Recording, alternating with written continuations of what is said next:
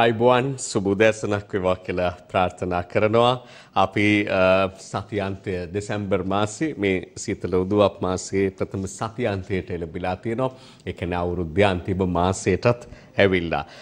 නොදැනීම ගත මේ අවුරුද්දත් ගත වුණා මේ අවුරුද්ධ බොහෝ වෙලාවට විශේෂයෙන්ම කෝවිඩ් එක්කම ගෙවුණු කාලයක් බවට පත් වුණා. හැබැයි වැඩි දෙනෙක් කැමති වෙවි කියලා හිතනවා මේ වගේ කාලයක් නම් ඉක්මනින් ගෙවිලා අවසන් වෙනවා නම් මොකද ඒ තරම් හොඳ කාලයක් නෙවෙයි. කෝවිඩ් නිසා සහ අමතරව ඇති වූ යම් යම් කාරණාත් එක්ක රටටම ලෝකයට වගේම විශේෂයෙන් අපිට වැදගත් අපේ රට අපේ රටට තරම් සුබදායි සුවදායි කාලවකවානුවක් වුණේ නැහැ. අපි මේ ගත කරමින් නෙත් එවැනි කාලයක් කෝවිඩ් වල අලුතෙන්ම ලැබෙන පුවත ආරංචිය බවට ඒ දවස පත් වුණේ. දින කීපයක පර්යේෂණවල ප්‍රතිඵල නිකුත් වුණා ඔමික්‍රෝන් ප්‍රභේදය ශ්‍රී ලංකාවේ තිබෙනවාද නැද්ද කියන කාරණාව සොයා බැලීම සඳහා ඒ අනුව සොයාගෙන තිබෙනවා ඔමික්‍රෝන් ආසාදිතයෙක්. ඒ ගැන අද පුවත් වාර්තා අවධානය යොමු කර තිබෙනවා දකින්නට පුළුවන්කම තිබෙනවා විශේෂයෙන් අද දිනමින පුවත්පත ප්‍රමුඛ සිරස්තලයේ සපයන්නේ මේ කාරණාව පිළිබඳව. ඔමික්‍රෝන් මෙරට පළමු ආසාදිතයා හලාවතින් හමුවේ කියලා. අප්‍රිකානු රටවලින් මුලින් අනාවරණ වෙච්ච එම නැත්නම් මුලින් වාර්තා වුණු ඔමික්‍රෝන් ප්‍රභේදය විකෘති ප්‍රභේදය වෙනත් රටවල් කීපයක ව්‍යාප්ත වුණා. දැන් එය ශ්‍රී ලංකාව තුළත් ඇති බව මේ අනුව තහවුරු කරනවා අදාළ අංශ විසින්. නයිජීරියාවේ සිට පැමිණි තරුණියක් බවයි සඳහන් වෙන්නේ. පසුගිය මාසේ තමයි මෙරටට පැමිණ ඇති බව සඳහන් වෙන්නේ. ඒ පිළිබඳව තවත් විවිධ වූ වාර්තා අපට දකින්නට පුළුවන්කම තියෙනවා. සති අග අරුණ ආදී පුවත් පත්වල ඒ කියන්නේ ඉරිදා පත්තරවලත් මේ ගැන යම් යම් වාර්තා දකින්නට පුළුවන්කම තියෙනවා. සති අග අරුණ ප්‍රධාන සිරස්තලින් වාර්තා කරන නොවැම්බරේ දකුණු අප්‍රිකාවෙන් රටට ආය සොයයි. සියලු දෙනාගේම ජෛව සාම්පල පරීක්ෂාවට මෙරටින් හමු ප්‍රථම ඔමික්‍රෝන් ආසාදිතයා මාරබෙල කියලා සඳහන් කරනවා අනෙක් පත්තරවලත් විවිධාකාරයෙන් මේ පිළිබඳව දකින්නට පුළුවන්කම තිබෙනවා. කෙසේවත් මේ තත්ත්වය අපේ රටේ ඇති වේවි කියන බය පිළිබඳව බොහෝ පාර්ශව අවධානය යොමු කරමින් සිටියා. ඒ අතරේ සෞඛ්‍ය අමාත්‍යංශයේ මාධ්‍ය ප්‍රකාශකතුමා නියෝජ්‍ය සෞඛ්‍ය සේවා අධ්‍යක්ෂ ජෙනරාල් විශේෂඥ වෛද්‍ය හේමන්ත හේරත් මහතාත් පසුගිය දිනවල මාධ්‍යට ප්‍රකාශ ලබා දෙමින් කිව්වේ ඔමික්‍රෝඩ් ආසාධිතයන් මෙරට තුළ සිටිය නොහැකියයි කිව නොහැකි කියල තමයි කියවුණේ කැනෙ සිටිය හැකි බවට බොහෝ දෙනා තුළ යම් විශ්වාසයක් පැවතුනා. එය පර්යේෂනාත්මකව තහවුරු කර ගැනීම ශ්‍රී ජයවර්ධන ප්‍රවිශ්ව විද්‍යාලයේ මහාචාර්ය නීලිකා මලබිගේ වගේ ආචාර්ය චන්දිම ජීවන්දර ඇතුළු කණ්ඩෑමට පැවරී තිබුණා. ඒ අනුව තමයි ආචාර්ය චන්දිම ජීවන්දර මහතා මේ පිළිබඳ අනාවරණය ඊයේ දවසේ සිදු කරනු ලබන්නේ. දිවයිනත් අද වාර්තා කරනවා. කරනවා මෙරටින් පළමු ඔමික්‍රෝන් රෝගයා හමුවේ ගුවන්තොටින් ඔමික්‍රෝන් ආවේ හරියට ජාන පරීක්ෂා නොකළ නිසායි. දැන් මේ ගැනත් කල්තියාම හැම දෙනාම අදාළ අංශවල අවධානයට ලක් කරද්දී ඊට පෙර ඉඳලා ගුවන්තොටේ පරීක්ෂණවල ගැටලු සහගත තැන් ගැටලු බව පෙන්වා දීම් කරලා තියෙද්දිත් ඇයි මේ ගැන අවධානය යොමු නොකළේ කියන එකයි බොහෝ දෙනා විමසන කාරණාව හමු වූ කාන්තාව එන්නත් ගෙන නෑ අප්‍රිකානු රටක සංචාරයක් කරලා තදින්ම සංචරණ සීමා දාගන්න විශේෂ වෛද්‍ය නවීන්ද සොයිසාව පුටා දක්වමින් GMO එකේ වෛද්‍ය නවීන්ද සොයිසාව පුටා දක්වමින් එම වාර්තා කරනවා.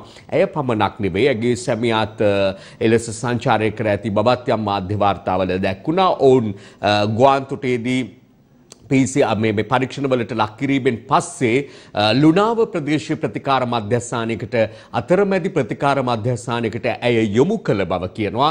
ඉන් ප්‍රතිකාර ලබාගෙන ඇය නැවත නිවසටත් එනවා. නිවසෙන් වෙනත් නිවසක ඉන්දැද්දි තමයි ඇව සහයගේ ස්වාමියා මේ විදිහට සොයා ගනු ලබන්නේ. තොට ඒ තැනම යළි නිරෝධහනයට ලක් කලා කියල තමයි මාධ්‍යයට වාර්තාවෙන් ඔමිකරෝන් ආසාධිතය අපිටවට සංචාරකයෙක් නොවෙයි ඇමති ප්‍රසන්න රණතුන්ග කිනො. දින කීපයකට පෙර ප්‍රසන්න රණතුන්ග සංචාරක අමාත්‍යවරයාම පුවත් පත්වලට මාධ්‍යයට ප්‍රකාශ කරනවා දින දාහතරක් මෙහාට එවැනි රටකින් කවරුත් සංචාරකයෝ පැමිණ සිටිය නෑ කියලා. හැබැයි තව කාරණාවක් මෙතන තිනවා අපි තහනම් රටවල් බවට පත් කරපු රටවල් කාණ්ඩේ මේ රට ඇතුළත් වෙන්නේ නෑ කියන එකත් විශේෂයෙන් කියන කාරණාවක්. අපි බලමු මේ ගැන පුවත් වාර්තාවක් අප සතුව තියෙන නිසා ඊයේ රාත්‍රී ප්‍රවෘත්ති විකාශය අඩංගුණු වාර්තාව ඒ තුළ වැඩි විස්තර තියෙනවා අපි දැන් ඒ වෙත යොමු වෙමු. මෙරට ප්‍රථම ඔමික්‍රෝන් කොවිඩ් ප්‍රභේදය ආසාධිතයා අද හඳුනා ගැනුණු බව සෞඛ්‍යංශ තහවුරු කළා. ඔහු නයිජීරියාවේ සිට පැමිණි ශ්‍රී ලාංකිකයෙක්. අදාළ පුද්ගලයා පසුගිය විසි හතර වනදා මෙරටට පැමිණ තිබුණද කොවිඩ් මර්දන එන්නත ලබාගත්තේ නැති අයකු බවට තහවුරු වී ඇති බවයි ආචාර්ය චන්දිම ජීවන්දර මහතා ප්‍රකාශ කළේ. මේ ප්‍රභේදය සහිත පුද්ගලයා විදේශයක සිට පැමිණලා තියෙන ශ්‍රී ලාංකිකයෙක්. එතකොට මේ ආරම්භක රට වෙලා තියෙන්නේ නයිජීරියාව. මේ පැමිණි පුද්ගලයා තව අපිට ලැබිච්ච වාර්තාවල හැටියට එන්නත් කරණය නොකළ පුද්ගලයෙක්. ඉතින් ඒක නිසා මේ වන විට මම හිතන්නේ සෞඛ්‍ය අමාත්‍යාංශයේ මේ සම්බන්ධයෙන් දැනුවත් කරා මේ පුද්ගලයා ගැන මේ තහවුරු කිරීමක් තමයි මේ සිදු කරන්නේ. දැනට වෙනත් කිසිම සාම්පලයක අපිට ඔමික්‍රෝන් ප්‍රභේදය සහිත රෝගීන් වාර්තා වෙලා නැහැ. මම හිතන්නේ අපේ සියලුම ජාන විශ්ලේෂණ පරීක්ෂණ අවසන් කරලා තියෙනවා මේ වන විට. ඉතින් තව දීර්ඝ විස්තර සහිත අනිකුත් වාර්තාව හෙට දිනේ අපි සෞඛ්‍ය සේවා අධ්‍යක්ෂ දෙනාල්තුමාට සහ සෞඛ්‍ය ලේකම්තුමාට බාර දෙනවා. මෙයාගේ ආශ්‍රිතයන්ගේ PCR පරීක්ෂණ සහ ජාන විශ්ලේෂණ පරීක්ෂණ සඳහා මේ සාම්පලනයේදී අද දිනේදී අපගේ විද්‍යාගාරයට යොමු කරන බව පවසලා තියෙනවා. ඉතින් ඒක ඉදිරියේදී එවැනි ප්‍රතිඵල ලැබුණොත් අපි ඉදිරියේදී සෞඛ්‍ය අමාත්‍යාංශය දැනුවත් කරන්න බලාපොරොත්තු වෙනවා. මේ පුද්ගලයා පැමිණලා තියෙන්නේ නොවැම්බර් මාසයේ 24 වෙනිදා, අද දෙසැම්බර් මාසයේ 3 වෙනිදා. ඉතින් ඊටාත්ම කඩිනමින් අවශ්‍ය කරන පරීක්ෂණ වලට යොමු වෙලා ඉතින් ලෝකයේ අනිකුත් රටවල් හා සසඳනකොට අපිත් ඒහාවම යහුසුලුවම මේ අවශ්‍ය කරන මැදිහත්වීම් සිදු කරලා තියෙනවා. ඉතින් ඒ සායක සතුට වෙන්න ඕනේ. මම හිතන්නේ බොහෝ විට අනුමාන කරන්න පුළුවන් මේක මේ පෞද්ගලික සති දෙකෙන් පොසිටිව් වෙච්ච සාම්පල අපි පරීක්ෂා කරපු නිසා ඔමික්‍රෝන් වාර්තා වෙන පළමු රෝගය ඇතුළත අපිට අනිවාර්යයෙන්ම අනුමාන කරන්න පුළුවන්. ඒක ජනතාවගේ වගකීම තමයි ඔබ එන්නත් කරන්නේ ලබාගෙන නැත්නම් වහාම එන්නත් දෙකම ලබා ගන්න. ඊට අමතර බූස්ට් එන්නතට ඔබ සුදුසුකම් ලබනවා නම් ප්‍රමාද වෙන්නේ නැතුව හැකි ඉක්මනින් ඒක ලබා ගැනීම ඉතාමත්ම වැදගත්. මොකද මේ තැනැත්තිය පොසිටිව් ලෙඩෙක් හැටියට ආරංචි වුණාට පස්සේ ප්‍රතිකාර මධ්‍යස්ථානයක ඒ નિયમિત කාලයක් තියාගෙන හිටියා. ඒ වගේම ඒ කාල සීමාව තුළ ඒ තැනැත්තිය තියාගෙන ඉඳලා තියෙන වෙනම කාමරයක. එතකොට එතනින් තවත් කෙනෙකුට බෝ වෙන්න තියෙන ඉඩ නැහැ උන් කියනවා නෙවෙයි. අවමයි. කෙසේ නමුත් ඒ තැනැත්තිය එතකොට ඒ මේ අතරතුර ආශ්‍රය කරපු ගමන් බිමන් ගිය මේවා අනුව සමහර විට අපි දන්නේ නැහැ කොයි ආකාරයකටද වෙලා තියෙන කියලා. ඒ පිළිබඳව කරන පරීක්ෂණ තාම කරගෙන යනවා. ඒවාගේ තොරතුරු අනුව එතනිනුත් කළ හැකි පාලන කටයුතු කරනවා. නමුත් අපි මතක තබා ගත යුතු දෙයක් තමයි මේ ආකාරයෙන්ම තවත් පිටරටින් පැමිණිච්ච පුද්ගලයා මේ රෝගය රැගෙනීමට ඉඩ තියෙනවා. මේ අපේ රටට ආපු බව අපිට වැඩපිළිවෙලක් තියෙනවා. ඒ වැඩපිළිවෙලට අනුව හොයනකොට හම්බ වෙනවා මිසක් අපි කාටවත් කියන්නේ දිව්‍යඥානයක්. එහෙම ඥානයක් නැහැ. අපිට මේ විද්‍යානුකූලව කරන පරීක්ෂණ ක්‍රම හරහා පමණයි අපිට දැනගන්න පුළුවන් වෙන්නේ. ඒ කියන්නේ ඒ අනුව තමයි ඒ කරන්න පුළුවන් ක්‍රමයකින් හැකි ඉක්මනින් මේ රෝගියාව හොයාගෙන තියෙනවා. මොකද මේ රෝගියා පොසිටිව් ලෙඩෙක් වුණා. අපි දැනගෙන හිටියා එයා බටහිර අප්‍රිකානු රටකින් ඇවිල්ලා තියෙනවා කියලා. තහනම් කරපු රටවලින් නෙමෙයි ඇවිල්ලා තියෙන්නේ. එසේ වුණත් අපි ඒක පරීක්ෂණයකට භාජනය කරා. ඒකේ ප්‍රතිඵලයක් හැටියට අපිට මෙයාව හොයාගන්න පුළුවන්. මුහුණු ආවරණ නැති බොහෝ මිනිසුන්ව ආරක්ෂක අංශ එකතු වෙලා කුදලගෙන යනවා ඒක කාලයක් මාධ්‍ය ප්‍රධාන දර්ශන බවට පත් වුණා. ඒ වගේම මහා පරිමාණ ආසියාවේ ලොකුම PCR පරීක්ෂණාගාරය අපේ ගුවන්තොටුපලේ හැදුවා කියලා පීත්තපටි කපල අනබෙරත් ගැහුවා. උදේ හවස සෞඛ්‍ය මාර්ගෝපදේශ නිකුත් කරමින් රට තුළට එන කොවිඩ් රෝගීන් වළක්වන බව හැමතාම මාධ්‍ය අපටත් වාර්තා කරන්න සිද්ධ වුණා. නමුත් එන්නත ගත්තේ නැති අයෙකු රට තුළට එනවනම් එතන ප්‍රශ්නයක් තියෙනවා. ලෝකයේ බොහෝ රටවල් අදටත් එන්නත අනිවාර්ය කර තිබෙනවා. එන්නත් දෙකම ගත්තත් සමහර රටවල් නිරෝධහනය අනිවාර්ය කර තිබෙන්නේ කොවිඩ් වෛරසය භයානක නිසයි. දැන් ඔමික්‍රෝන් ඇවිත් අවසන්. ඔමික්‍රෝන් භයානකද නැද්ද කියන එක වෙනම ප්‍රශ්නයක්. නමුත් රට තුළට හිතුමතේ කෙනෙකුට එන්න පුළුවන් නම් ඒ ගැන අපේ රටේ බලධහරින් කී වතාවක් හිතන්න ඕනෙද කියන එක ප්‍රශ්න කළ යුතුව තිබෙනවා. දැන් මේ රටට ආපු ඔමික්‍රෝන් ප්‍රභේදය ගත්තහම ඉතා පැහැදිලිව මේක හොයාගෙන තියෙන්නේ නයිජීරියාවේ ඉඳන් ආපු 25 හැවිරිදි කාන්තාවකගෙන් ඇය මාරවිල ප්‍රදේශයේ කාන්තාවක් සති දෙකක පමණ කාලයකට නයිජීරියාවකට පිටත්ව ගොස් තමයි ඇවිල්ලා තියෙන්නේ. සෞඛ්‍ය අමාත්‍යාංශයේ අද වෙනකන්වත් මේ අලුත් ප්‍රභේදය රටට ආවහම කෙසේද කටයුතු කරන්න ඕනේ කියන එක පිළිබඳව ගයිඩ්ලයින් එකක් ගහලා නැහැ. ඒ ගයිඩ්ලයින් එක ගහන්න නැත්තේ හොරකමට. අපේ රට ඇතුළට එන අයගේ අඩුම ගානේ වැක්සින් දෙක ගහලා එන්නේ නැති අයගේ පරීක්ෂණය කරන විදිය පිළිබඳව හරි මාර්ගෝපදේශයක් නැහැ. ඒ නිසා වැක්සින් දෙක නොගහපු අයත් රට ඇතුළට එනවා කියලා අපිට වාර්තාව තියෙනවා. අපි ළඟ සමහර සාක්ෂි තියෙනවා. ඒ අයගේ මොන මොන ප්‍රභේද එනවද කියන එක අපි දන්නේ නැහැ. ඊළඟට වැක්සින් ගහලා එන අයගෙත් ඔමික්‍රෝන් තියෙන්න පුළුවන් කියන එක තමයි පර්යේෂණාත්මක තොරතුරු ප්‍රතිඵල. ඉතාම හොඳ රසායනාගාර දෙකක් ගුවන් තොටුපළ පරිශ්‍රයේ තියාගෙන මේ පරීක්ෂණ ටික කරන්න. ඒ නිසා අපි ජනාධිපතිතුමාගෙන් ඉල්ලනවා කරුණාවෙන් මේ රට නැවත නැවත අමාරුවේ දාන්න එපා. අපි මේක ජනාධිපතිතුමාගෙන් ඉල්ලන්නේ තැන් තැන් වල කසුකුසු ගාන අය කියනවා මේකට විරුද්ධ ජනාධිපතිතුමා කියලා. ඒ නිසා අපිට මේක ප්‍රසිද්ධිය කියන්න වෙනවා. මේක අපි කිව්වයි කියලා අපේ පස්සේ CID එක එවන්න එපා. එහෙම වුණොත් ජනාධිපතිතුමාට කේලමක්වත් කියාගන්න කෙනෙක් නැති වෙයි. මේ නිසා අපි මේ අවස්ථාවේදී මේ ගැන වැඩි කලබලවීමේ අවශ්‍යතාවයක් නැහැ. මේ සම්බන්ධව අවශ්‍ය වෙන්නේ අපේ මූලික සෞඛ්‍ය පුරුදුවලට යොමුවීමත් රජය මගින් ලබා දෙන ෆයිස එන්නත වයසවුරුදු හැට්ටට වැඩි සියලුම දෙනා නොවලහා ගිහින් ඒ එන්නත ලබා ගැනීමත්. බූස්ට එන්නත ලබා ගන්නා ලෙස අපි යළි යළිත් අවධාරණය කර සිටිනවා. මේ වෛරසය බොහෝ විට දැන් හමු වෙලා තියෙන්නේ තරුණ ප්‍රජාවගෙන් කියන එකයි සඳහන් වෙන්නේ. නමුත් තවම දැකලා තියෙන රෝගීන්ගේ ප්‍රමාණය අධ්‍යයනය කර තියෙන රෝගීන් ප්‍රමාණ ගැන විශේෂයෙන් සඳහන් වන නිසා මෙහි හැසිරීම ගැන අපිට යමක් ප්‍රකාශ කළ නොහැකි. මේ අතර වයඹ පළාත් ආණ්ඩුකාර ධූරය හොබවන රාජ අපට තිබෙන හොඳම රසායනාගාරය තිබෙනෙත් ගුවන්තොටේ කියලා කියනවා. එතකොට ගුවන්තොටේ තිබෙන මේ රසායනාගාරය වෙත මිට වඩා අවධානය දිය යුතු නොවන්නේද? ඒක එක කාරණාවක්. ඉන් පස්සේ ගත්තහම වෛද්‍ය පද්මා ගුණරත්න මහත්මිය සඳහන් කළා වගේ තරුණ ප්‍රජාව තුළ ඔමික්‍රෝන් ව්‍යාප්තියක් තිබෙන රටවල තරුණ ප්‍රජාව තුළ මේ ව්‍යාප්තිය දකින්නට ලැබෙනවා. දැන් මේ අවුරුදු 25ක කාන්තාවක් තමයි මාරවිල ප්‍රදේශයේ පදිංචි විදේශගත වෙච්ච කාන්තාවකට තමයි ආසාදනය වුණා කියලා කියන්නේ. ඇගේ ස්වාමියා 32 හැවිරිදි කියලා සඳහන් වෙනවා. එහෙම ගත්තහම අපේ රටෙත් දැන් මුලින්ම වාර්තා වුණෙත් තරුණ කාන්තාවකට. ඒ නිසා අප වඩාත් අවධානයෙන් පසුවීම සහ එන්නත් කරණයට ලක්වීම ආචාර්ය චන්දිම ජීවන්දර සඳහන් කළා වගේ එන්නත් කරණයට ලක්වීම සුදුසුකම් ලැබූ අය බූස්ටර් මාත්‍රාව ලබා ගැනීමට කඩිනම් වීමත් ඉතාම වැදගත් බව අප අවධාරණය කරන්න කැමති. ඒකම මේ අදාළ විශේෂඥයින් සඳහන් කළ පරිදි අප මෙතෙක් පවත්වාගෙන යන මූලික සෞඛ්‍ය ක්‍රමවේද අමතක වෙලා නම් අතහැරලා නම් යළි අනුගමනය කිරීම. පවත්වාගෙන යනවනම් දිගටම පවත්වාගෙන යාම අතිශය වැදගත් බව විශේෂයෙන් අවධාරණය කරන්න ඕනේ. මෙතනින් එහාට මේ කාරණාව දැතුළු බොහෝ ගැටලු ගැන තමයි ඊයේ දවසේ වෙච්ච අද දවසේ අපිට වාර්තා කරන්න වෙන්නේ. සුබදායි දේවල් ඒ තරම් කියන්නට තරම් නැහැ. ඒ නිසා මම හිතුවා මේ අපි ඊයේ ලැබපු ජයග්‍රහණය ශ්‍රී ලංකා ක්‍රිකට් ලැබපු ජයග්‍රහණය යම් ආකාරයක අස්වැසිල්ලක් ඊයේ දවසේ ජනතාවට ගෙන දුන්නා.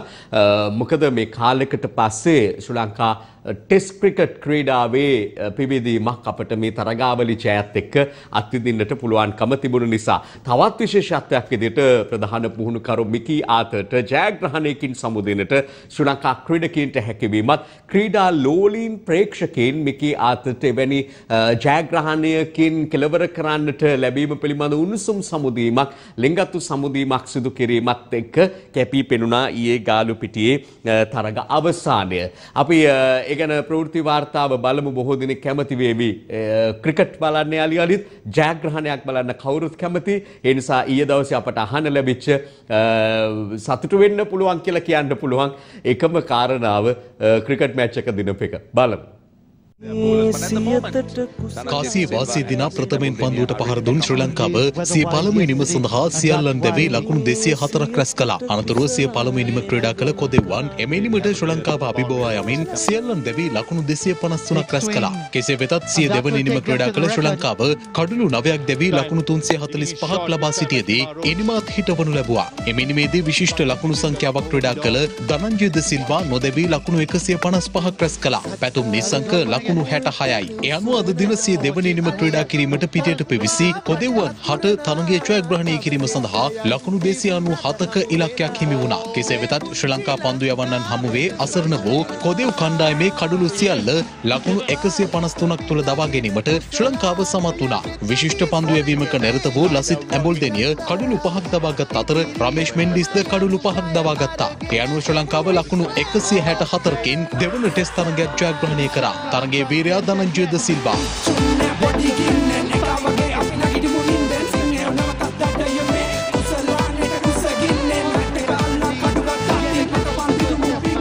තරඟ දෙකකින් සමන්විත ටෙස්ට් තරඟාවලිය තරඟ දෙකට බිඳුවක් ලෙස ජය ලබා ගත්තේ ශ්‍රී ලංකාවයි. තරඟාවලියේ වීරයා සම්මානය රමේෂ් මෙන්ඩිස් දිනාගත්තා. මෙවර ශ්‍රී ලංකාව සහ බටහිර ඉන්දිය කොදෙව්වන් අතර ටෙස්ට් තරඟාවලියේ නිල විකාශක ලෙස කටයුතු කළේ සියත TV අප නාලිකාවයි. සියත බැලුවොත් ක්‍රිකට් දෙනුම් කියන එක අප නැවතත් අද ඔප්පු කළා. ඒ අනුව අප ඊයේ දින තරඟාවලිය ජයග්‍රහණය කිරීමටත් ප්‍රථම පෝස්ට් ව්‍යාපාරයක් ආරම්භ කළා. ඒ ක්‍රිකට් දිනවන්න නම් සියත තමයි කියලයි. ඇත්තටම අප එය සනාත කර අවසන්. එය මෙම ටෙස්ට් තරගාවලියෙන්ද ඔප්පු වී හමාරයි. සියත එක්ක ක්‍රිකට් දිනමු.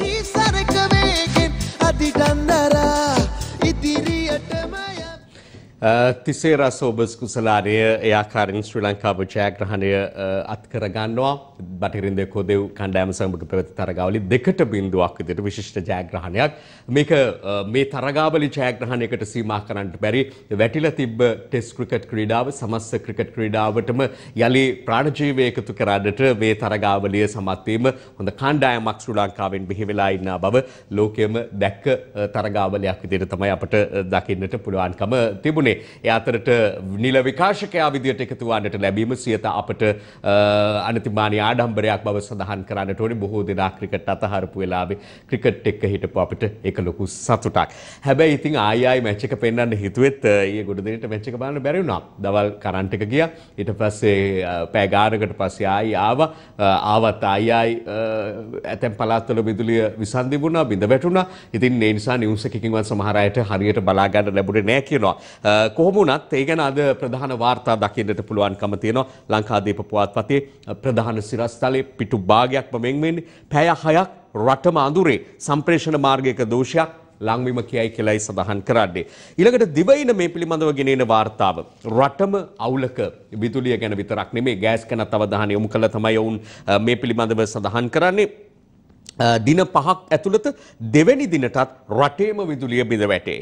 විදුලි ඉංජිනේරුවෝ අකුරට වැඩ අත්හිටුවයි. දිනකට පැය දෙකක් පැන්නොත් දිනකට පෑ දෙකක් පැත්තෙන් පැත්ත ලයිට් කපයි. ඊළඟට තියෙනවා ෂෙඩ්වල ඉන්ධන දීමත් නවති. ෂෙඩ්වල ඉන්ධන දීමත් නවති. කොළඹ ජල සැපයීමටත් බාධා. නොරොච්චෝලෙත් හිර වෙලා. පාර්ලිමේන්තුවෙත් කරන්ටයයි ගලි බවසර් වැඩ නැති නිසා කොළඹ වැසිකලිය යුතුරයි. කඩා කප්පල්කාරින්ට එරෙහිව උසාවිය යනවා ලංවීම පාලන අධිකාරියකයි. හෙමින් වැඩ කළ ඉංජිනේරුවන් ගැන කනගාටුවේ. දැන් මෙහෙම සිද්ධියක් වුණා.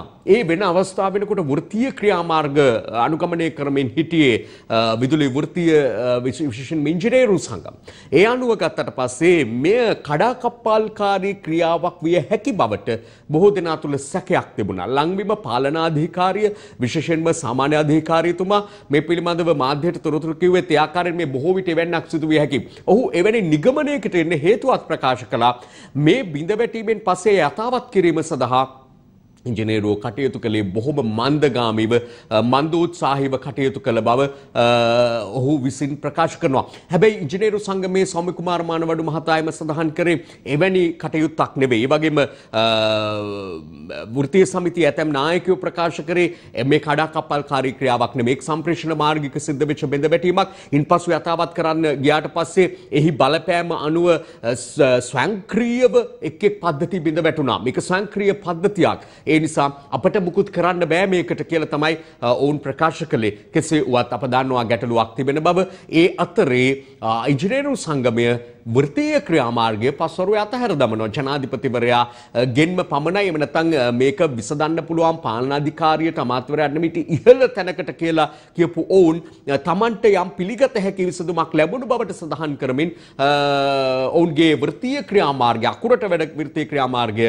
අත්හිටුවනවා. කරන්ට් එකත් හන්ද වෙනකොට එනවා. අපි බලමු මේ පිළිබඳවත් ප්‍රවෘත්ති වාර්තාවක් අප සතුව තියෙනවා. මේකේ විවිධ අදහස් දැක්වීම් තියෙන නිසා ඊටම වැදගත් පැති කීපයකින් මේ පිළිබඳව කරන විමසීම් අපි ඒ වාර්තාවට යොමු වෙමු.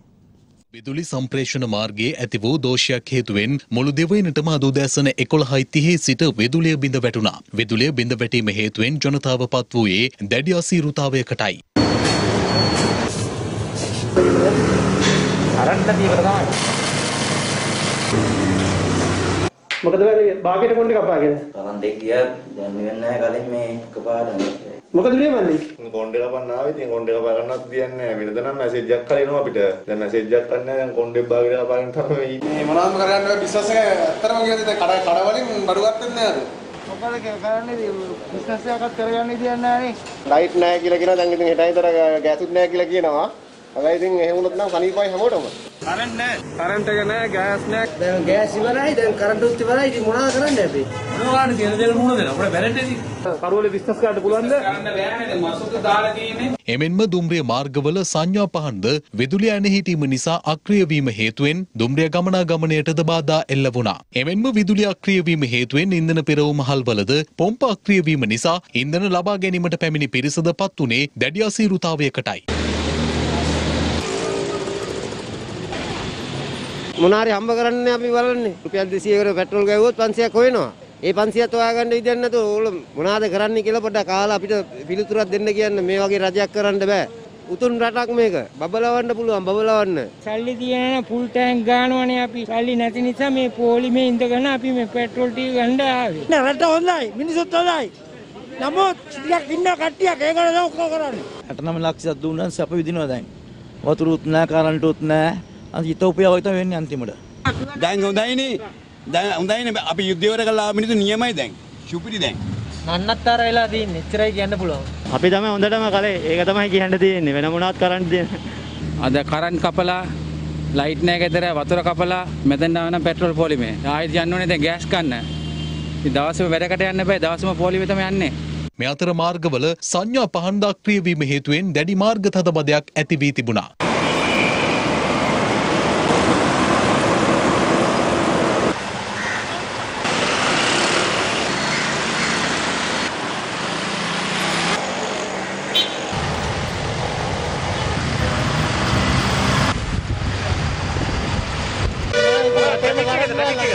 ඔව් ගොඩක් ට්‍රැෆික් එක දැන් පැය භාගයකට විතර වෙන්න ඉන්නවා. කරන්ට් එක නෑ හැමතැනම නෑ ට්‍රැෆික් එක වැඩි ඔව්. මේ තියෙන තත්ත්වය වල වැඩක් කරන්න නෑ. කරන්ටුත් නෑ. මොකද ඔක්කොම නෑ නෑ නෑ තමයි. නැති වෙලාම යනවා.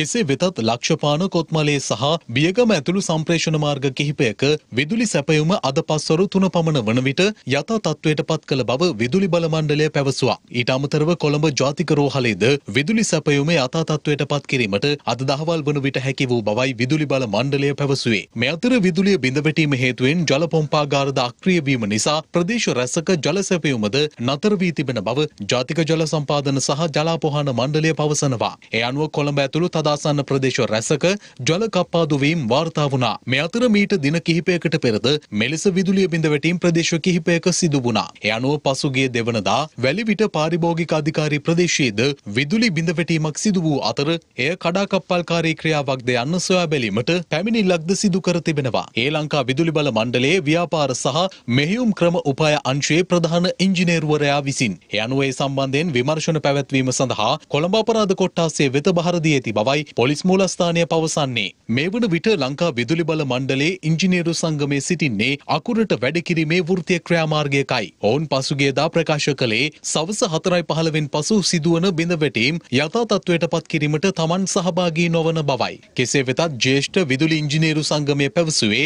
තමන් එම වෘත්තීය ක්‍රියාමාර්ගයේ නියැලෙන්නේ නැති බවයි. මේ අතර අප සිදු කළ විමසීමකදී විදුලි බල මණ්ඩල මාධ්‍ය ප්‍රකාශක සුලක්ෂණ ජයවර්ධන මහතා ප්‍රකාශ කළේ මේ වන විට බිඳ වැටී ඇති පද්ධතිය සම්පූර්ණයෙන්ම යථා තත්ත්වයට පත් කර ඇති බවයි. ඒ පස්වරුවේ වාර්තාව විදුලි බිඳ වැටීමෙන් පස්සේ යථාවත් වීමෙන් පස්සේ ප්‍රවෘත්ති වාර්තාව අප නැවත බැලුවේ කොහොමුණත් මේ බිඳ වැටීම රටටම බලපෑවා පාර්ලිමේන්තුවටත් බලපෑවා වෙනකොට අයවැය විවාදයේ මේ ජාතික ආරක්ෂාව පිළිබඳ වැශේෂයේ විවාදයට ගැනීමෙන් තිබුණේ චමල් රාජපක්ෂ අමාත්‍යවරයා උපුටා දක්වමින් ලංකාදීපය අද වාර්තා කරනවා ජාතික ආරක්ෂාව ගැන කතා කරද්දී විදුලිය ඇන හිටීම ප්‍රශ්නයක් කියලා. ඒත් පාර්ලිමේන්තුවෙත් සැපෙමු සම්පූර්ණයෙන් අඩාල වුණා. තව වාර්තාවක තියෙනවා මේ මන්ත්‍රී මන්ත්‍රීවරු දෙන්නෙක් විදුලි සෝපානය හිර වුණා කියලත් අපට දකිනට පුළුවන්කම තිබෙනවා තුෂාර ඉන්දුනිල් සහ ලලිත් එල්ලාවල මන්ත්‍රීවරු දෙන විනාඩි 15ක් විදුලි සෝපානය හිර වෙලා ඉන්න උනා කියලා. විදුලිය නැතිවීම කඩාකප්පල්කාරී වැඩක් යලි හැදීමත් සමති පමා කළා කියන කාරණාවට විශේෂයෙන් පුවත් අවධානය යොමු කරලා තිනවා ලංවෙම සාමාන්‍ය අධිකාරීවරයාගේ මේ ප්‍රකාශයට. ඊළඟට ජනාධිපතිතුමා එක්ක සාකච්ඡාවක් ලංවෙම ඉංජිනේරු සංගමය ලබාගෙන තිබෙනවා සඳුදා ඒ අනුව අකුරට වැඩ කිරීමේ වැඩපිළිවෙල නැවැත් වූ බව තමයි සඳහන් වෙන්නේ. අපි අ, මේ එකම ඊළඟට සම්බන්ධ වෙන කාරණාව ගෑස් ගෑස් ගැන විශේෂයෙන් දැන් මේ වෙලාවේ මේ ගෑස් ප්‍රශ්නය ගැන ගෑස් නිසා ඇති වෙලා තියෙන අනතුරු මේ ආදී කාරණා සහ ඒවා සිදුවන විමර්ශන පිළිබඳව අ, ප්‍රවෘත්ති වාර්තා තුලින් ඔබ දැනුම්පත් වෙනවා. ඒ අතරේ දැන් තිබෙන ගැටලුව තමයි ගෑස් සැපයුම මොකද කරන්න කියන එක පිළිබඳව ඊයේ ඉඳලා බෙදා හැරීම සම්පූර්ණයෙන් නැවැත්වුවද නවත්වලා නැද්ද මොකද අ, විවිධ වාර්තා අපිට මුණ ගැසුණා ඒවා ඉදිරිපත් කරන්න තවත් කාරණාත් එක්ක අපි මුණ ගැසමු විරාමයකින් පස්සේ.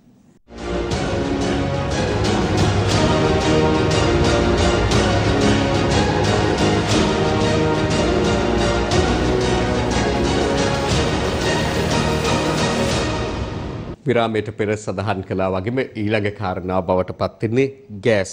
දැන් අ, ගෑස් අනතුරු පිළිබඳව අ, සු- දකින්නට පුළුවන් වාර්තා අතරේ අද අපට ලංකාදීපෙන් මුණ ගැසුණා මේ පිළිබඳව පත් කළ ජනාධිපති කමිටුවේ අ, නියෝජිතයෙක් වන අ, මහාචාර්ය ජයතිලක මහතාගේ අදහස් දැක්වීම පාරිභෝගික අධිකාරිය මේ පිළිබඳ වගකීම් පැහැර හැරලා කියලා ඔහු චෝදනාවක් නගනවා. අනතුරු වලට හේතුව ගෑස් වල ප්‍රශ්නයක් කියන එකත් ඔහු බ- බොහොම පැහැදිලිව සඳහන් කරනවා. මේක පැහැදිලිව සඳහන් කරන්නේ ඔවුන් කළ නිරීක්ෂණවල අ, ප්‍රගතියත් එක්ක. ඒ කියන්නේ පහුගිය කාලයම තුල ගත්තොත් එහෙම වෙලා තියෙන අනතුරු කොච්චරක්ද? මේ ගෙවුණු මාසික පමණ කාලය තුල අනතුරු සහය අනතුරු සිදු වූ ස්ථානවලට ඔවුන් ගියා. මේ කණ්ඩායමක් ගියා. ගිහිල්ලා යම් සොයා බැලීමක් නිරීක්ෂණයක යෙදුණා. එහි ප්‍රතිඵල විදියට තමයි තවම කමිටුවේ නිල වශයෙන් වාර්තාවක් ඉදිරිපත් නොවුනාට මේ වන විට තිබෙන තත්ත්වය පිළිබඳව එලෙස පැහැදිලි කිරීමක් කරනවා. ඊළඟට අපි මේ අද අනෙකුත් පුවත් වාර්තා තුලත් අ, දකින ඊළඟට වැදගත් වෙන කාරණාව බවට පත් වෙන්නේ තවදුරටත් මේ ගෑස් බෙදා හැරීමක් සිද්ධ වෙනවාද කියන එක පිළිබඳව. ඊයේ අ, ප්‍රවෘත්ති වාර්තාවක් ආවා ගෑස් බෙදීම සම්පූර්ණයෙන් නැවැත්තුවා කියලා. අද දිනමිනත් වාර්තා කරනවා ලිට්‍රෝස් සහ ලාෆ් බෙදා හැරීම් නතර කරන්න කිව්වා කියලයි එහි දැක්වෙන්නේ පාරිභෝගික ආරක්ෂණ රාජ්‍ය අමාත්‍ය ලසන්ත අලගේබන්න මහතා උපුටා දක්වමින්. නමුත් අ, මේ පිළිබඳව ගෑස් සමාගම් එකගයිද ඔවුන් කටයුතු කරන්නේ කුමන ආකාරයෙන්ද කියන එක පිළිබඳව. අපි එම පුවත්පතේම දකිනවා දැනුම් දීමක් කර නැහැ. ගෑස් බෙදා හැරීම දිගටම ලාෆ් සභාපති වෑගපිටිය කියයි. දැන් බොහෝ දෙනාට අ, අවසාන වශයෙන් තියෙන ප්‍රශ්නය බෙදනවාද නැද්ද කියන එක පිළිබඳව රාජ්‍ය පැත්තෙන් පාරිභෝගික අධිකාරිය පැත්තෙන් රාජ්‍ය අමාත්‍යවරයා ප්‍රකාශ කරනවා ගෑස් බෙදන එක නවත්තන්න කිව්වයි කියලා. හැබැයි සමාගම් කියනවා විශේෂයෙන් ලාභ සමාගම කියනවා බෙදන එක නැවැත්වීමේ අවශ්‍යතාවයක් නෑ අපිට නිසි දැනුම් දීමකුත් නෑ.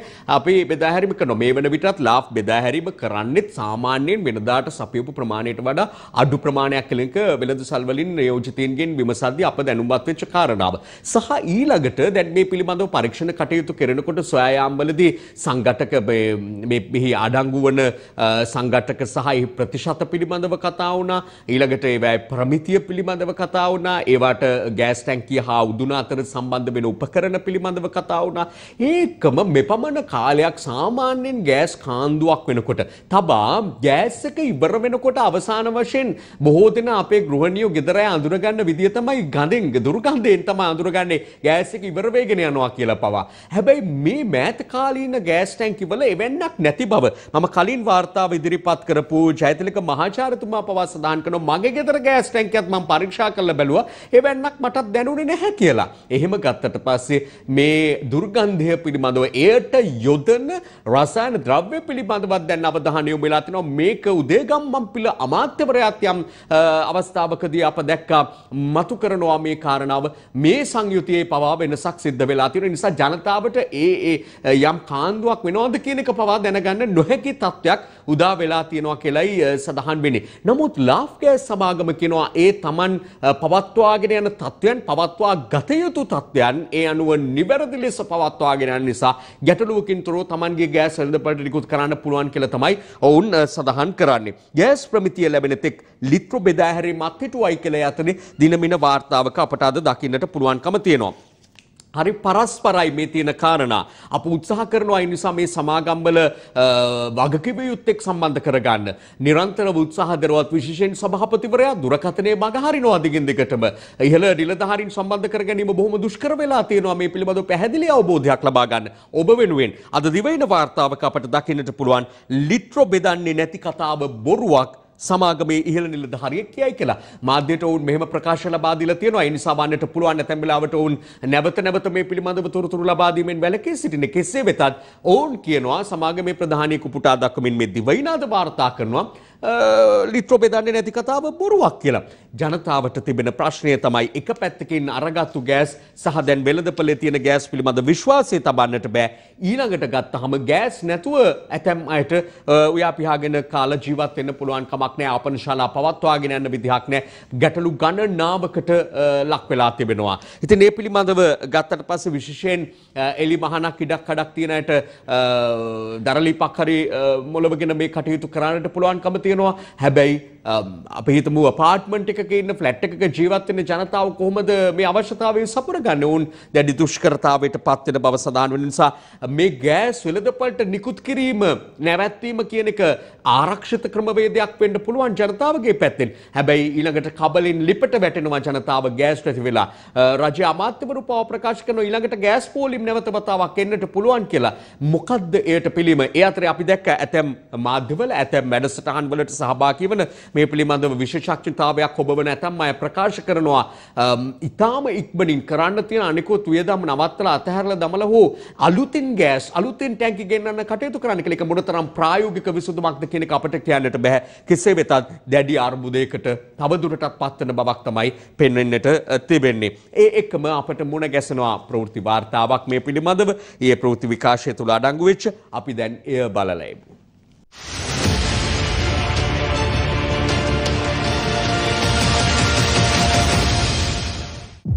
ගෑස් ආශ්‍රිත පිපරීම් වාර්තාවන්නට පටන්ගත් දිනේ සිටම අප මාධ්‍යායතනයක් ලෙස සෑම විටම තර්කානුකුල මතයක් ප්‍රකාශ කළා. ඒ ලිට්‍රෝ සමාගම පාරිභෝගිකින්ව මීට පෙර රවටා ඇති බවයි. එසේම ගෑස් ආශ්‍රිත පිපරීම් බොහොමයක් ගෑස් උඳුන බටය සහ රෙගියලේට්‍රේ මත තියන්නට ලිට්‍රෝ සමාගම උත්සාහ කලා. එදී අප ප්‍රශ්න කළේ හදිස්සියම මේ උපකරන සෑම කෙනෙකුම අලුතින් මිලදීගත් අද කියලයි. පිපරීම්වලට අදාළ උපකරන හේතු වෙනවා නම් වහම ඒවා ගෙන් වූ පුද්ගලින්වද අත්තඩංගුවට ගතයුතු බව අප නිරන්තරයෙන්ම අවධහරණය කළා. රටපුරාම පිපිරීම් එකසිේ විස්සකට ආසන්න සංඛ්‍යාවක් සිදුවනා. මෙසා විශාල පිපිරීම් සංඛ්‍යාවක් වාර්තාවන විට එය අසාමාන්‍යයි කියලා පුංචි දරුවෙකුට පවා තේරෙනවා. මේ පිපිරීම්වල ආරම්භේදී සමහර වගකීමක් නැති දේශපාලනක්මින් පැවසුවේ දිනකට ගෑස් සිලින්ඩර එකක් දෙකක් පුපුරාය හැකි බවයි. එකැන මාසයකට සිලි සිලින්ඩර හැටක් විතර පුපුරන්න ඕනේ. නමුත් රාජ්‍යමාත්‍ය ලසන්ත අලගේවන්න මහතා ලිට්‍රෝ සමාගම වෙනුවෙන් පෙනී සිටිය නැහැ. ඔහු පාර්ලිමේන්තුවේදී අවස්ථා කීපයකදින් පැවසුවේ මේ සමාගම පාරිභෝගිකින්ව රවටා ඇති බවයි. කෙසේ නමුත් අප සෑම විටම පෙන්වා දුන්නේ සමාගම ගෑස් සංයුතය වෙනසක් කරන්නට ඇති කියලයි. ඒ මීට පෙරත් ලීටර් දහටාමාර ලීටර් දොළහමාර සහ අන්තිමට පාරිභෝගිකයට නමයාමාරක් දීල රවටපු නිසයි. සමාගම බේරගන්න කතා කළ බොහෝ අය ප්‍රපේන් සහ බියුටේන් වල ගණන් හිලව්කේමින් ගාන වැඩි ප්‍රපේන් වැඩියෙන් සිලින්ඩරට දාන්නේ ඇයි කියලැහවා. හැබැයි පීඩනය වැඩි වෙනකොට ගෑස් ඉක්මනට ඉවර වුණහම වැඩියෙන් සිලින්ඩර විකුණන්න පුළුවන් කියලත් අමතක කරන්න හොඳ නෑ කියලා අප මතක් කලා. ඉතාම පැහැදිලිව අද සනාත වෙනවා මේ ගෑස් සිලින්ඩර්වල පීඩනය වෙනසක් තියෙනවා කියලා. මේ පිපරීම් ගැන හොයන්න ජනාධිපතිතුමා පත් කළ කමිටුවේ සාමාජික මහාචාරය WDW ජයතිලක මහතා අදේ ගැන ප්‍රකාශ කළා. මොකක්දතන්දී වෙනස් වනේ. වෙනස් වනේ මිනිස්සු ගෑස් ලිප වෙනස් කරගත්තේ නෑ. එක්කොති විච්ච ලිපවල්මයි. ගෑස් බට වෙනස් කරගත්තේ නෑ. රෙගියුලේටර්ස් වෙනස් කරගත්තේ නෑ මේ දවස් කිහිපේ. මාසෙන් මාසේ නැත්තම් මාස දෙකෙන් දෙකට වෙනස් වුණ එකම දේ තමයි ගෑස් සිලින්ඩර්. ඒ අනුව අපි නිගමනයට බහිනවා නේ මොකද සාමාන්‍ය මිනිසුන්ගේ ඒකයි චෝදනාව තියෙන්නේ. අපේ මේවා අපි මොකක්වත් වෙනස් කරේ නෑ. අපි අලුත් ගෑස් සිලින්ඩරයක් ගෙනාවා නැත්තම් මේ තිවිච් එක දවස් කිහිපයක් පාවිච්චි කරා. අන්න ඒක තමයි ජනතාව තුලින් ලැබෙන ප්‍රධානම ප්‍රතිචාරය. අපි වෙනස් කරේ මේ සින්ද්‍රය තමයි වෙන මොකක්ද අපි වෙනස් කරන්නේ අපි තිවිච්චම තමයි තියෙන්නේ. අවුරුදු දෙක තුනක් වෙන්න පුළුවන්. ඒ තිවිච්චම තමයි ඔය තියෙන්නේ මේ ගෑස් සිලින්ඩරේ තමයි මේ වෙනස් කරේ. ඉතින් ඒක තමයි මේ චෝදනාව ගෑස් කම්පැනිස් අතර එල්ල වෙන්නේ අන්න ඒක අපිට ප්‍රධාන වශයෙන් සිදු වෙනවා ඒකින්ද ගෑස් සිලින්ඩරය සම්බන්ධයෙන් තියෙනවා ගානේ විශේෂයෙන් අවධානය යොමු කරා. ඇයි වෙනස් වීමට අනුව මේක වෙන්න ඕනේ. ඒක ඒක මං කියන්නේ ගෑස් සමාගම් වලට මම දොස් පාරනවා නෙමෙයි. ඒක මට අයිතියක් නෑ එහෙම කරන්න. නමුත් ඒක වැදගත් සාධකයක්. ගෑස් සිලින්ඩරයේ තත්ත්වය සහ ස්වභාවය ගානේ නිසි විදිහට කටයුතු කිරීම හේතුව. ඒක පේනවා ඒක මේ තත්ත්වය ඇතිවීමට වෙනස් වූ ප්‍රධානම සාධකය ගෑස් සිලින්ඩරයේ බව. අනිත් පැත්තට ගත්තොත් අඩුවෙන්ම ඩැමේජ් වෙලා තියෙන්නේ ගෑස් සිලින්ඩරේ තමයි. එසේම ගෑස් සමාගමේ දුර්වලකම් නිසා මේ බොහොමයක් පිපිරීම් සිදූ බව රාජ්‍ය අමාත්‍ය ලසන්ත අලගේවන්න මහතා අදත් සනාත කළා. ප්‍රමිති ආයතනය විසින් අපි ලබාදීපු නියැදි දෙහෙක විශේෂම ලිත්‍රෝ සමාගමෙත් ලාප් සමාගමෙත් එතිල් මර්කැප්ටන් කියන ඒ රසායන ද්‍රව්‍ය අපේ රටේ ප්‍රමිතිය අනුව තිබිය යුතු වන්නේ දාහතරක අගයක් නමුත් ඒ පරීක්ෂා කරන ලද සාම්පල් දෙකේම තිබෙන්නේ පහක තරම් ප්‍රමාණයක අගයක් තිබෙන්නේ. මම අමාත්‍යවරයා විදිහට විශේෂම සඳහන් කරන්න ඕනේ මේ తත්වය ඇතිවීම සඳහා සම්පූර්ණයෙන්ම අදාළ ගෑස් සමාගම් දෙක වගකීම සම්පූර්ණයෙන්ම බාරගත යුතුව තිබෙනවා. ඒ වගේම පරීක්ෂණ වාර්තාවලින් අනාවරණය වුණොත් යම්කිසි ආකාරයකට හිතාමතා එම ගෑස් සමාගම් විසින් අදාළ උපරිම ලාභයක් ලබා ගැනීමේ අරමුණක් ඇතුව පාරිභෝගිකයන් නොමග යැවීම වෙනුවෙන් යම්කිසි ආකාරයක කටයුතු කරලා තිබෙනවා කියලා අනිවාර්යෙන්ම ඒ සඳහා අවශ්‍ය ඉහළම නීතිමය ක්‍රියාමාර්ග ගැනීමටත් අමාත්‍යංශයත් පාරිභෝගික අධිකාරියත් කටයුතු කරනවා කියන එකත් විශේෂයෙන්ම සඳහන් කරන්න ඕනේ. මේ අතර ලිට්‍රෝ සමාගම නැවත දැනුම් දෙනතුරු සිය බෙදාහැරීම් සහ අලවිය නතර කළ බව අද නිවේදනය කළා. මේ අතර මහජන උපයෝගිතා කොමිසම පවසන්නේ අදටත් ප්‍රමිතිය ගැන ක්‍රියා කරන්න නීති බලතල සහිත ආයතනයක් නෑ කියලයි.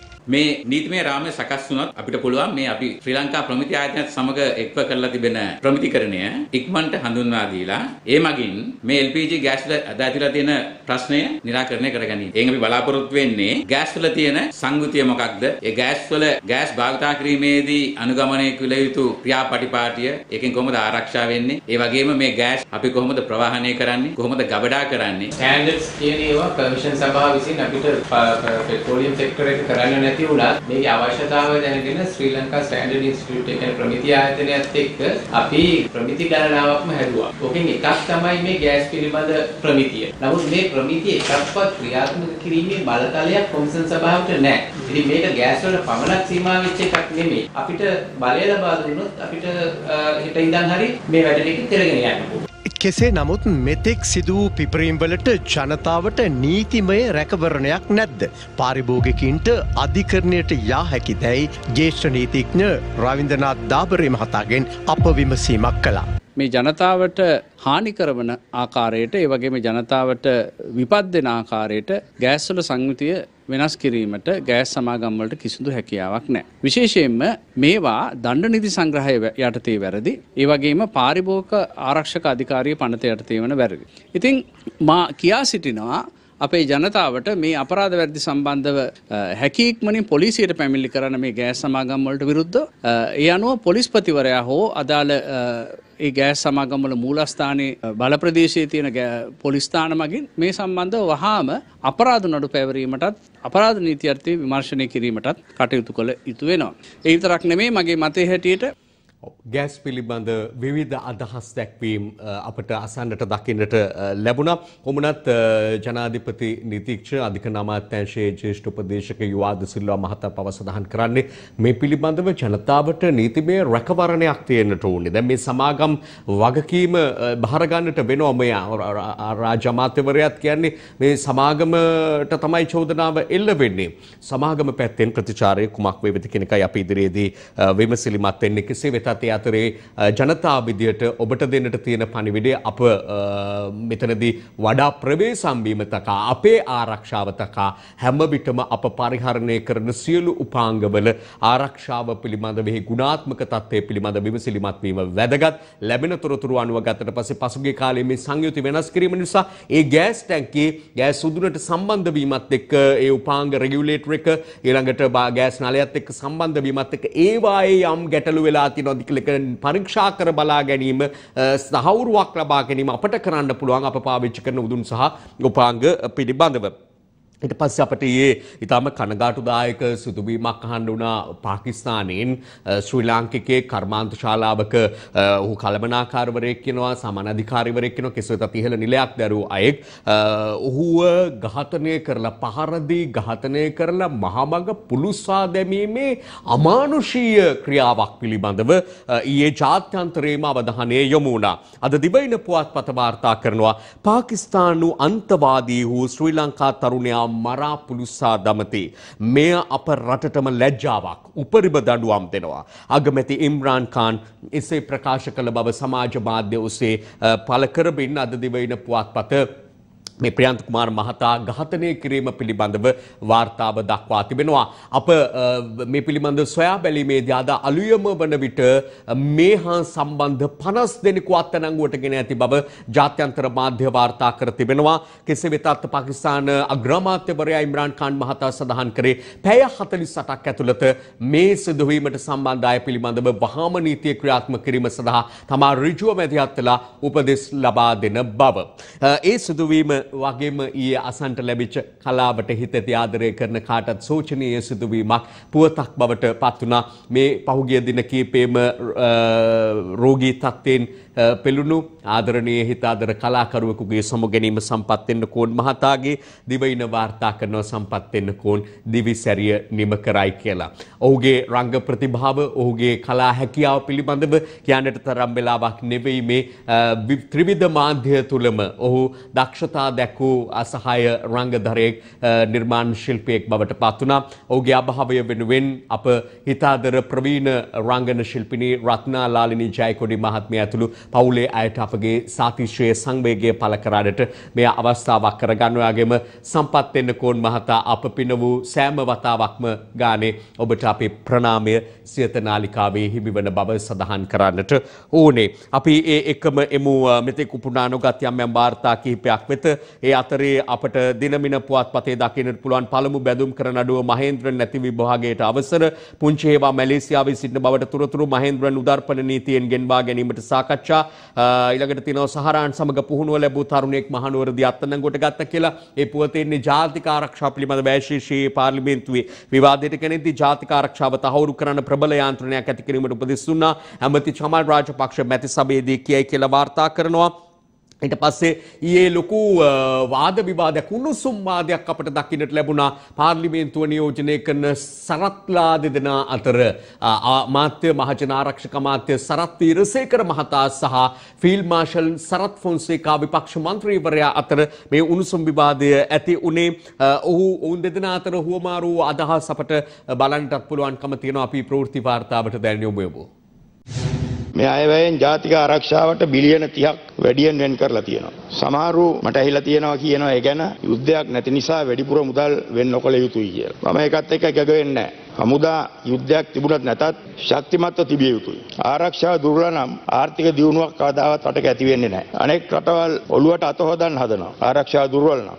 අපේ රට්ට මේ වෙනකොටත් ඒක සිදුවමින් පවතිනවා කියලා මම විශ්වාස කරන්නේ. ගරු කතානපතිතුමි මෙතුමා මේ ආරක්ෂක අමාත්‍ය වෙන්න සිහිනමවනවා. මෙතුමා යහපාලන රජයේ මහජන ආරක්ෂක අමාත්‍ය වෙන්න සිහින මැව්වා. නමුත් යහපාලන රජය දුන්නේ නැහැ. මොකද මිනිහාගේ හැටි දන්න හින්දා. මෙතුමා තමයි යුද හමුදාන් යනකොට ආ, මේ යුද්ධය ඉවරනාට පස්සේ චීනෙන් ගෙනාව ආයුධ නවක් අවශ්‍ය නැති. ඒක හරවන් යව ආරක්ෂක ලේකම්තුමා. ඒක තමයි ආරක්ෂක ලේකම්තුමා තමයි තරහ වුණේ. ඒකෙන් ලැබෙන කොමිස් තමයි අර මහ- අර ලංකා බැංකුවේ ලොකරකේ තිබ්බේ. ඉතින් තමුසේ වීදුරු ගෙවල් වල ඉඳන් ගල් ගහන්න එපා කියලා මං කියනවා. මට තප්පර 10ක් දෙන්න. හා ඒකට උත්තර දෙන්න. නිවටය කවුද කියලා රටේ ජනතාවගෙන් අහන්න. හරි බොහොම ස්තුතියි. මේ සරත්ද මේ සරත්ද කියලා. අබේ මැතිතුමා කතා කරන්නේ.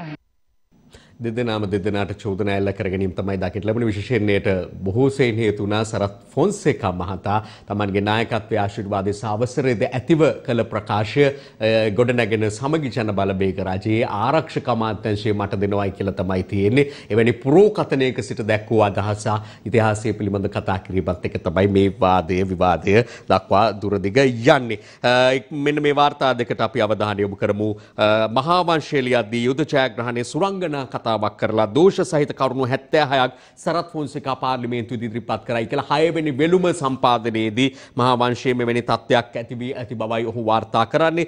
ආයුධ පෙන්නිල්ල නතර කර යුක්ති සහගතව දඬුවම් දෙන්න අනුර කුමාර දිසානායක ජයපේ නායකතුමාගේ අදහසකුත් යාතරේ දකින්නට පුළුවන්. පාසල් ආරම්භය නිවාඩුව පිළිබඳව සඳහන් කරනවා මේ නත්තලට දෙන නිවාඩුව 23 ඉඳලා 26 දක්වා කලින් නිවේදනය කරලා තිබුණා. එක් පුවත්පතක් කියනවා ඒක ජනවාරි දෙවනිදා දක්වා දීර්ඝ කළා කියලා තවත් පුවත්පතක් කියනවා තියෙනවා ජනවාරි 3 වෙනිදා දක්වා දීර්ඝ කළා කියලා. කොමුණත් පාසල් නිවාඩුවේ යම් දීර්ඝ කිරීමක් කළා තියෙනවා. ලැබුණු නිවාඩු ඇති කියලා තමයි දරුවෝ දෙමව්පියෝ නම් කියන්නේ මෙච්චර කල් නිවාඩුවේ හිටියා ඇති කියලා ඉදිරි කාලය පිළිබඳ සියල්ල තීරණය වෙන්නේ මේ අලුත් විකෘති ප්‍රභේද ඇවිත් තියෙනවා. ඒ අනුව ජනතාව දක්වන සහයෝගය කටයුතු කරන ආකාරයෙන් මේ සියල්ල මතයි අපි ප්‍රාර්ථනා කරන්නේ සුවදායි රටක් සුබවාදී හෙට. හෙට උදේ හම් වෙනතුරු ඔබට සුබ දවසක්.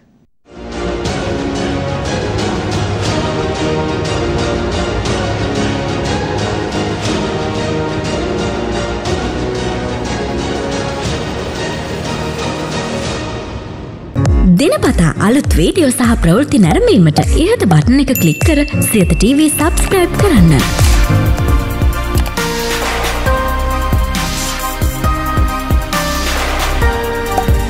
අලුත් වීඩියෝ ගැන මුලින්ම දැනගන්න මෙම සීනුව කලික් කරන්න.